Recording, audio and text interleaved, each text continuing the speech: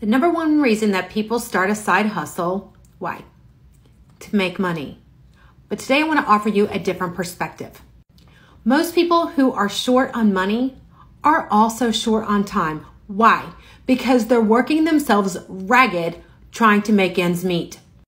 And so maybe the number one excuse for people not wanting to start a side hustle is because they're like, I just don't have the time. And I understand that. When I started my affiliate marketing journey, I was working my regular job. There were days I did not want to put in the time because I was tired. I wanted to scroll on my phone and have some downtime. But might I suggest to you that you're going to use this time to invest. You are going to invest time up front to make time for yourself.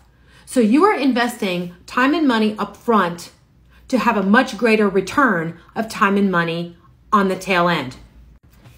Now, I want to tell you, you're going to come across times when you are going to be discouraged and you're going to wonder if it's worth it. Let me tell you that it is. And I think the number one thing you can do for yourself to set yourself up for success is to make a list of things that you want to make space for in your life. What does that mean?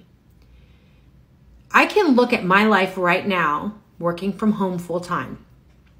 I can look at my life and I'm like, oh my gosh, how did I ever do any of this? I didn't. I didn't do. The, uh, I didn't do all this. I can get so much done now being from home, and I'm taking care of my aging mom right now.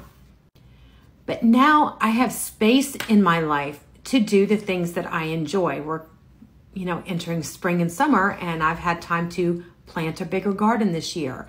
I'm able to take time and exercise like I've wanted to. I've, been, I've had time to eat properly.